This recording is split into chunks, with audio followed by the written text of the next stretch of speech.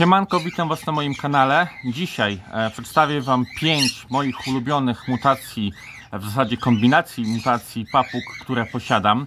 Bo warto pamiętać, że mutacja to jest, nie wiem, białogłowa, perłowa, cynamonowa, a kombinacje, kombinacje danych mutacji, czyli na przykład białogłowa, cynamonowa, prawda? Więc tutaj będzie 5 moich e, ulubionych, od piątego miejsca do pierwszego. Zobaczycie, które e, papugi mi się najbardziej podobają w mojej hodowli. A oprócz tego chodźcie, pokażę Wam ile mamy jajek e, już zniesionych w hodowli. E, Zobaczcie, tutaj już jest pełna lista numerów budek. Numery bud budek mamy po lewej stronie, tutaj mamy daty i mamy raz, dwa, trzy, cztery, pięć, sześć, siedem, osiem, dziewięć, dziesięć, jedenaście, dwanaście, trzynaście, czternaście e, budek na 16 ma, ma już jajeczka. E, tutaj jedna ta budka, gdzie nie ma e, jeszcze jajek, e, jest to budka z, e, znaczy box z papugami płowymi. Tutaj mamy samicę, która siedzi w budce, kołysze się. Ona na dniach powinna złożyć e, jajko, e, więc czekamy. A druga budka to e, w zasadzie nie budka, tylko para. Jest to para wystawowych. E, tutaj jeszcze nie mam e, jajeczek, chociaż jak zobaczycie to e, coś tutaj jest ugniatane, coś tutaj jest e, przestawiane w trocinach, więc też mam nadzieję, że za jakiś czas, za kilka dni e, te jajka powinny się pojawić. E, Tutaj chciałem Wam tylko pokazać e, budkę numer 1, samiczka e, albino, samczyk e, srebrny, e, trzy jajeczka, samiczka już ładnie wysiaduje, o tam samczyk się pokazuje, zobaczcie pięknie. Chciałem Wam tylko pokazać tutaj jak moje papugi się e, zachowują w stosunku do mnie, jak pozwalają mi powiedzmy ingerować e, tutaj w, e, w te jajka. E, To jest samica dz- dzika w 100%. E, na moment, na, na czas lęgu w budce jest po prostu łagodna jak baranek.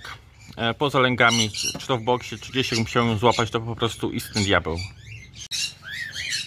E, Numer 5 na mojej liście zajmuje mutacja e, płowa. Mamy tutaj samczyka białogłowego szeka płowego. Płowa jest bardzo podobna do mutacji cynamonowej, z tym, że tutaj jak widzicie, nie wiem czy dobrze widać na filmiku, ale, ale samiec ma czerwone oko, plus ten e, kolor na plecach jest taki bardziej brązowawy e, w stosunku do e, mutacji cynamonowej. Samiczkę płową zdążyliście już zobaczyć chwilę wcześniej na wódce jak siedziała. Ja już nie będę zaglądał, żeby ją Wam pokazywać. Mutacja płowa jest to dosyć rzadka mutacja w Polsce. Ze względu chyba na to, że ona za bardzo się nie różni od cynamonu, e, od re- recesywnej. Je- Jest też mylona przez wiele osób pewnie. A w dodatku no, cena e, takiej, takiej mutacji dla wielu jest nieadekwatna właśnie do wyglądu e, samej papugi. Więc papug w Polsce płowych jest stosunkowo niewiele. Ja sam myślałem kiedyś, że mam e, samiczkę płową. Po jakimś czasie okazało się, że był to cynamonowy albinos. A tutaj zobaczcie tego samczyka, no jest po prostu rewelacyjny. E, Udało mi się wypatrzyć go e, na Oliksie chyba i e, nie zastanawiałem się długo. Nie patrzyłem też na cenę po prostu. Wiedziałem, że tą parkę chcę mieć. E, Miejsce numer 4 zajmuje właśnie ta kombinacja mutacji, czyli e, Lutino e, Pastel Face. Dodatkowo to jest e, samiczka jest w cynamonie, ale to tak jakby no nie patrzę na to, po prostu bardziej zwracam uwagę na e, dwie mutacje u, u niej, czyli Lutino i Pastel Face. Jest to jedna właśnie z tych mutacji, która która też mi się podoba. E, Samo Lutino jest fajne, też nie powiem, że nie jest fajne, ale właśnie w połączeniu z Pastel Face'em, czyli tak jakby e, mutacja Pastel Face, czyli inaczej e, bladogłowa, widać, że e, ten policzek, ta główka jest tak jakby trochę bardziej e, rozmyta, bledsza od e, mutacji e, zwykłej, a w tym wypadku powiedzmy, jak, jak mamy do zestawienia Lutino i Lutino Pastel Face, to e, wtedy widać różnicę. Tutaj na chwilę spróbuję Wam zrobić przybitki z, e, papugą Lutino.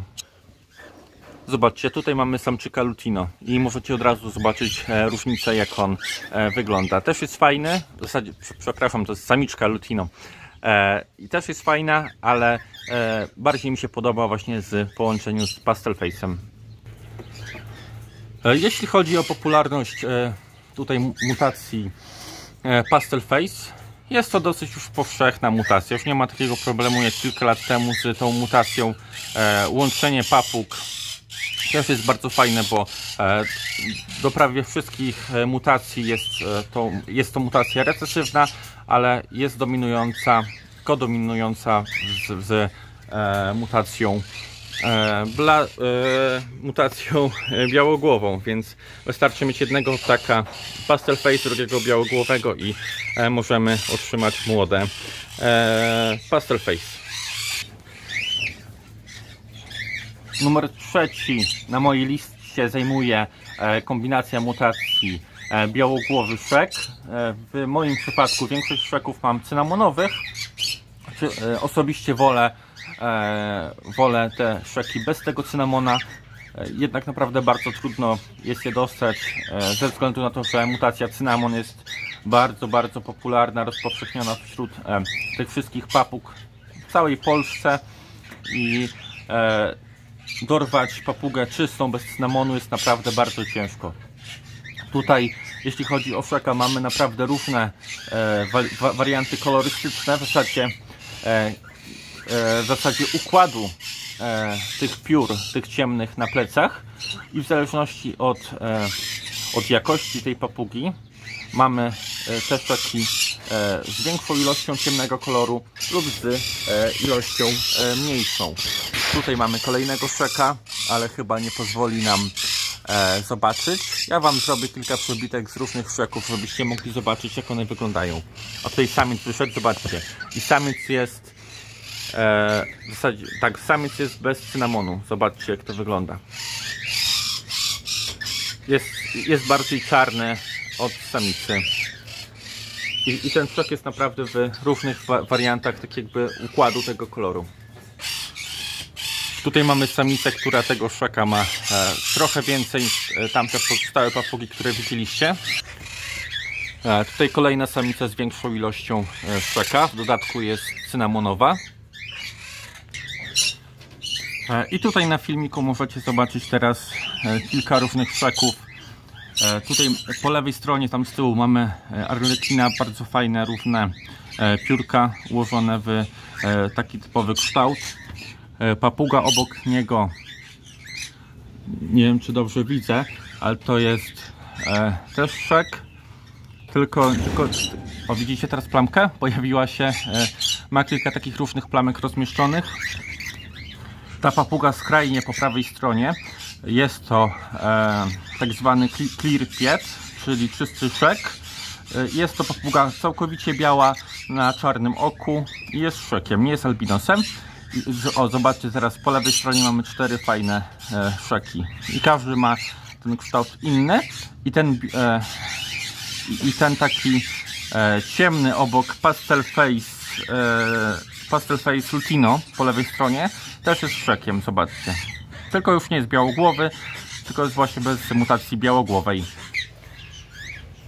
E, miejsce numer dwa zajmuje e, sama mutacja białogłowa. Tutaj mamy samczyka, który wysiaduje jajka. I zobaczcie, dla wielu pewnie jest to zdziwienie, bo to jest zwykła mutacja, e, jedna z najbardziej pospolitych w Polsce, na całym świecie a dla mnie jednak ona e, ma jakiś taki swój e, klimat, coś mi jest takiego, że mi się naprawdę mega podoba. Tutaj samczyk jest z mojego odchowu, prawdopodobnie z tego co pamiętam jest po, po moim talonie, a talon jest po Arturku, więc mam trzy, trzy samce, trzy pokolenia tak jakby w samcach tutaj białogłowych standardowych. Tak jak mówiłem, mutacja jest popularna ale mimo to e, te kolory, te głowy, e, coś w nich jest, no mi się mega na przykład podobają, to, są to papugi też ciemne, gdyby, gdyby był ten sam w cynamonie, w ogóle by mi się nie podobał, ale właśnie to, że, że jest ciemny, że, że e, te papugi w tej mutacji są ze mną praktycznie od początku. I, mo, i moje m, moje samce, dwóch najlepszych samców właśnie jest w tej mutacji, to chyba mam jakiś taki sentyment do, e, sentyment do tej mutacji. I mimo tego, że ona jest zwykła dla wielu, e, to dla mnie jest niezwykła.